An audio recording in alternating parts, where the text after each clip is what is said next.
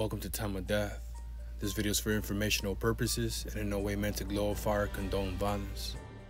In today's video, we'll be discussing the murder of Christopher Paul Bishop.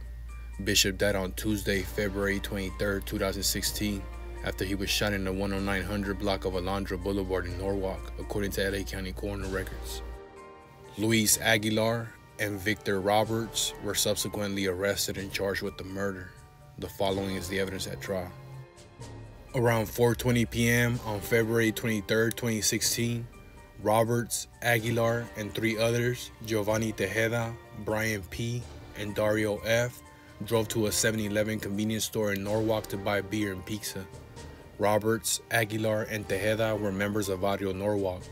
Dario, who was 14 years old, was not a member of the gang, but was part of a tagging crew. The 7-Eleven was in Barrio Norwalk territory. Roberts, Aguilar, and Tejeda went inside the store, while Dario and Brian stayed at the car. Around the same time, Chris B. Sr. and his adult son, Chris B. Jr., arrived at 7 Eleven. We refer to them as Senior and Junior for the sake of clarity. Senior and Junior were members of Neighborhood, which is a rival of Barrio Norwalk. Their monikers were Weasel and Baby Weasel. Senior had a neighborhood tattoo on his chin, and Junior had a visible neighborhood tattoo on the back of his head. Dario and Brian noticed Junior's tattoo and went inside the store to alert the others. Defendant Roberts pointed at Junior and Senior and said that's Weasel and Little Weasel from neighborhood. Tejeda said, Your neighborhood, you're not supposed to be here. Aguilar threw up a Barrio Norwalk gang sign. They talked shit and told Junior and Senior to leave. Junior and Senior refused. Junior and Senior started passing something back and forth, and Dario thought it might be a weapon.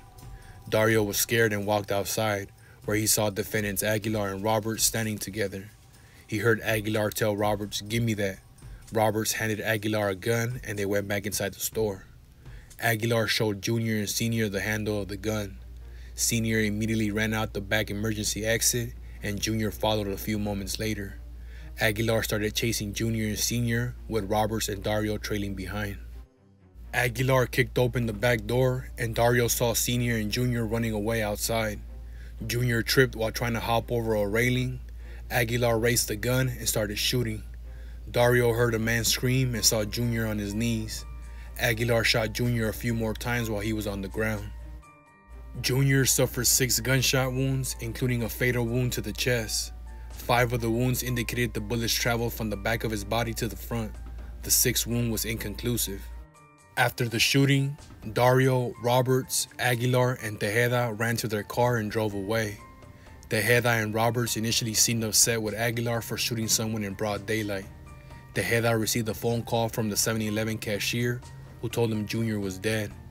Tejeda relayed that information to Aguilar and Roberts, who shook hands. At a joint trial, the prosecution presented eyewitness evidence and surveillance camera footage establishing the facts recounted above. The prosecution's primary witnesses were Senior and Dario F., both of whom had previously given detailed recorded accounts of the incident.